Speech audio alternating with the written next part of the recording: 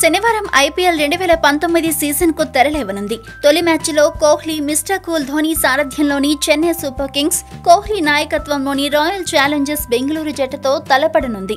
Dhoni versus కోహ్లీగా మారిన ఈ మ్యాచ్లో గెలిచేదెవరు అని సోషల్ మీడియాలో తెగ చర్చించుకుంటున్నారు. అయితే ఈ సీజన్లో ఐపీఎల్ తొలి మ్యాచ్లో బోని కొట్టేదెవరన్నది ఆసక్తికరంగా మారింది. అయితే మొదటి మ్యాచ్కి ముందు చేసిన నెట్ ప్రాక్టీస్లో ఇరు జట్ల కెప్టెన్లు కోహ్లీ ధోని సరదాగా కనిపించారు.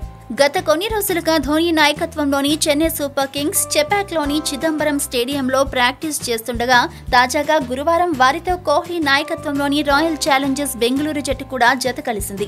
గురువారం ఫ్లడ్ లైట్ల వెలుతురులో రెండు జట్లు సాధన చేశాయి. ఈ సందర్భంగా ధోని కోహ్లీ ఆత్మీయంగా పలకరించుకున్నారు. కాగా అంతకుముందు విరాట్ కోహ్లీ నేతృత్వంలోని రాయల్ ఛాలెంజర్స్ బెంగళూరు టీం చెన్నైకి బయలుదేరింది.